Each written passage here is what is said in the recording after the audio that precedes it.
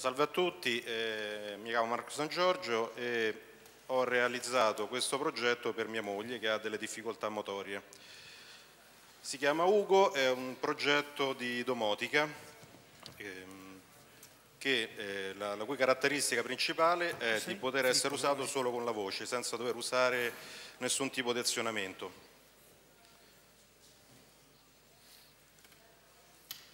È stato sviluppato in ottica open eh, cercando di usare il maggior eh, hardware a basso costo proprio perché i dispositivi per disabili costano tantissimo.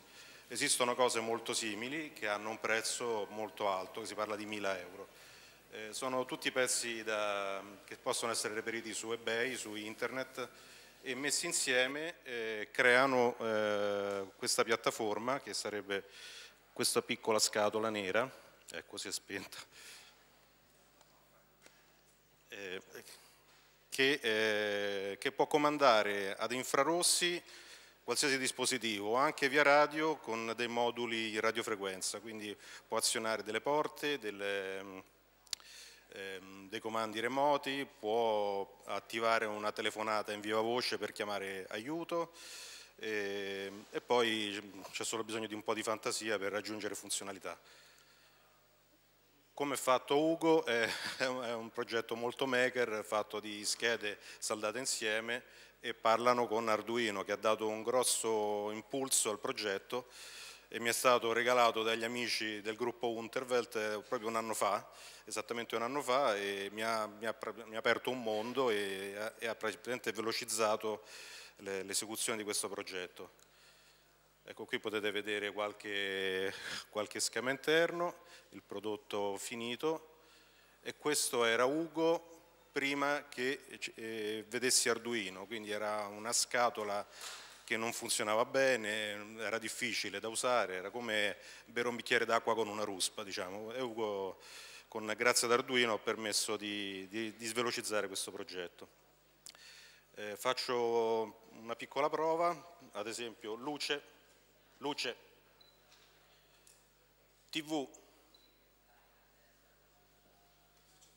si è accesa, sì.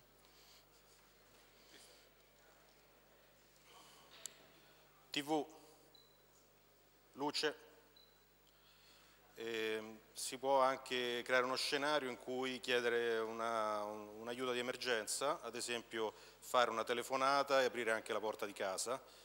Aiuto. Ecco, si è scattato.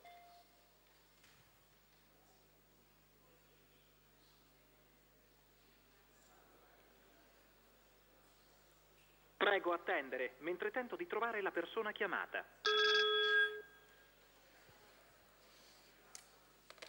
Ecco, tutto questo senza dover usare nessun tasto, solo con comandi vocali. Cosa?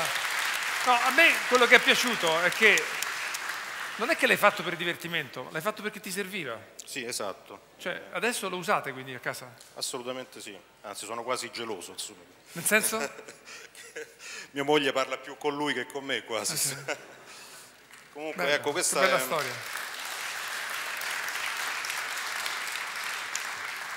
Prima un... abbiamo sentito Inter che parlava idea, prodotto, mercato. Di, deve diventare un prodotto? È fatto per caso? Ci hai pensato? No? Può servire ad sì, altri? Sì, ci ho pensato perché effettivamente nel, nell'ambiente della disabilità tutto costa caro e avere un qualcosa a basso costo potrebbe eh, essere utile per, per molte persone che non hanno disponibilità economiche.